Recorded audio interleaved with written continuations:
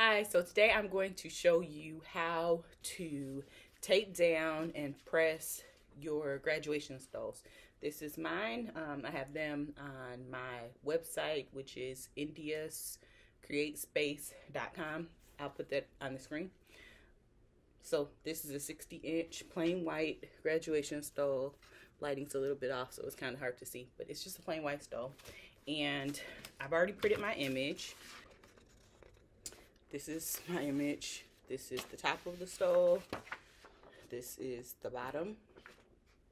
And basically the way that I set it up is I set it up so that the spot where um, I'm going to conjoin these sheets because all I had was the, uh, I think this is 11 by 17 paper where they conjoin. There's no writing or anything like that that would interfere with the design. So it'll blend in a little bit better than if, you know, let's say the bend was right here, then that might, um, that would be a little harder for me to line up. So some people use the movable spray adhesive.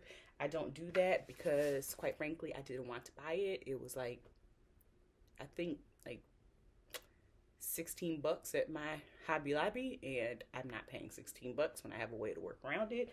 Um, now, when I first started crafting, I probably would have just bought it because I just thought, oh, you need everything. You need to buy everything in order to be able to craft everything everybody else has. As I get further along in my journey, I'm realizing that a lot of things that people do out of convenience or people do a certain way because it's their preference can be done for with what you have at home or for really really cheap or a lot cheaper than what you may have seen so especially when you're doing a small order so let me adjust the camera and then I'll come right back. I'll show you how I'm going to do this. So these two cut in half. Now I'm going to do the same thing this page, right down the middle.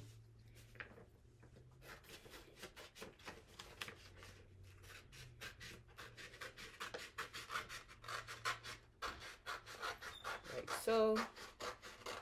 What I'm gonna do is first thing is cut across this right here. So we are not going to, do not cut the part on the top. I'm going to use that to overlap.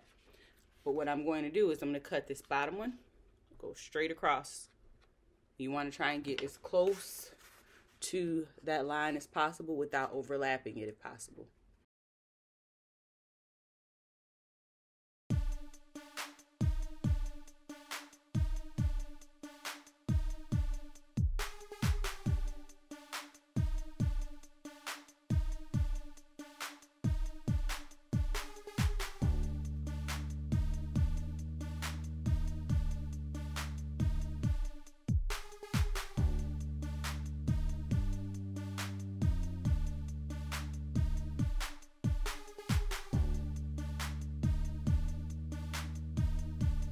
One side of the stole.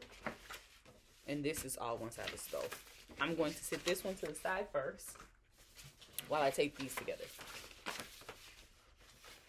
And the way I'm going to do that is by, let's see, bring it down a little. Okay, hopefully this is a little bit better of an angle for you guys. So while off camera, I realized that I had mixed up the sides. So I fixed it now. Um, and what I'm going to do is I'm going to line this up. This is just heat resistant tape. I think I got this from Michael's for a couple bucks. And once you get it lined up, you take your tape like so. Take a piece. And really, really small pieces. It's that big. Put these together. And then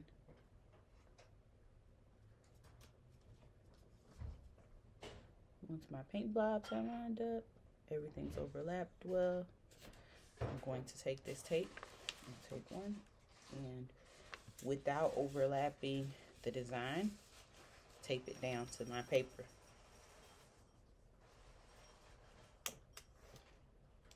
And then going to take this other side. We're going to do the same thing. Once those are taped down into place, the next step is to pull it up like so. And then what I like to do is take and fold that extra tape back toward the back like that. See? And we're going to do the same thing on this side. Try and keep it in place because this one is really narrow. Pick it up. Fold that extra piece back across the back like that. And then we're going to do, we're going to turn it over now that we know everything's in place. We're going to do the same thing across the back. And that's simply take a piece of tape, tape this in place, and this is just going to keep everything nice and secure so we don't have anything moving out of place. So now we have the full length of the stole. Okay. We're going to do the same thing on the other side, and I'm going to do the same thing on this side. Gas down again.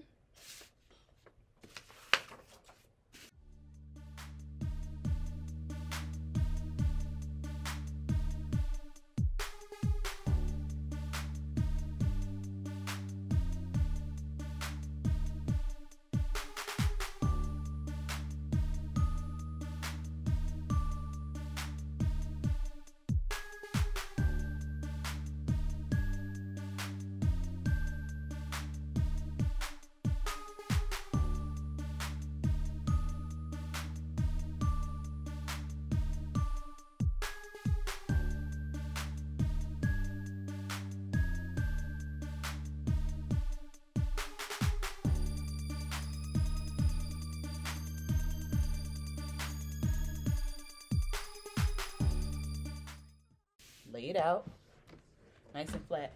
And then we're going to put our stole on top of this. I'm gonna try and avoid those pin, I had some pinwheels at the bottom of my design. I'm trying to avoid those. Now, I try to center the design. Now, the stoles you can see through a little bit. I don't know that you guys can see through it because you know, obviously you're not right above it, but you can see through it a little bit. So I can see exactly where my design is going to be on this. So I'm using that to my advantage and I want to center like this lettering here where it says 2021. I want to try and center that.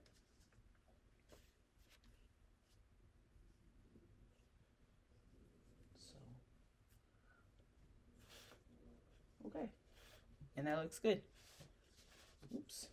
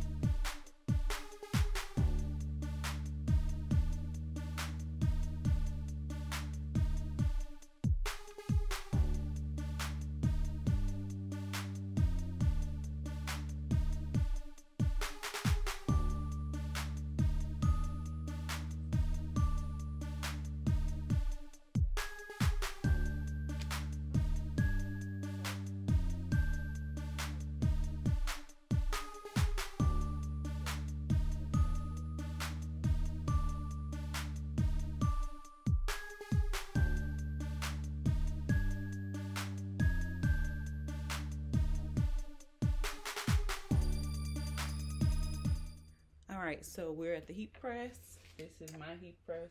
Um, it's not a big one. I want to get a bigger one, but this is all I have. So again, make what you have work. All right, now you can see my heat press is set at 400 for 60 seconds.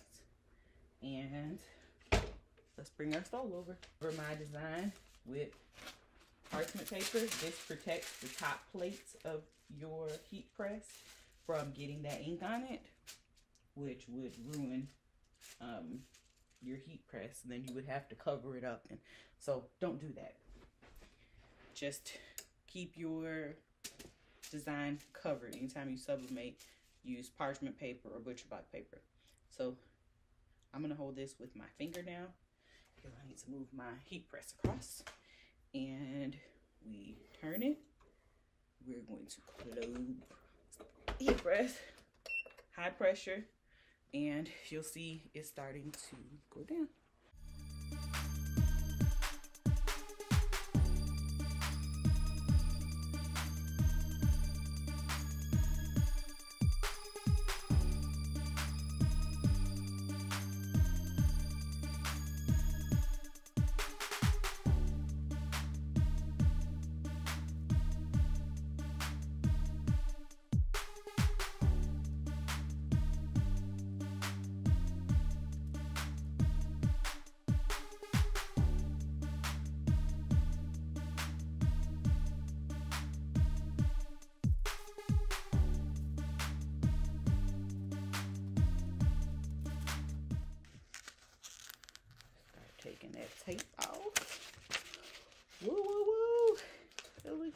Good. I see one imperfection there.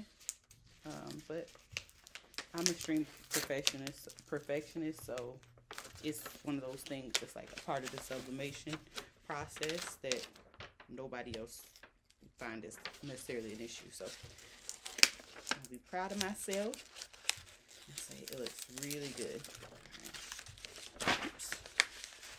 Take that tape off all the way across the back. Right, are you guys excited? Are you excited to see what we made?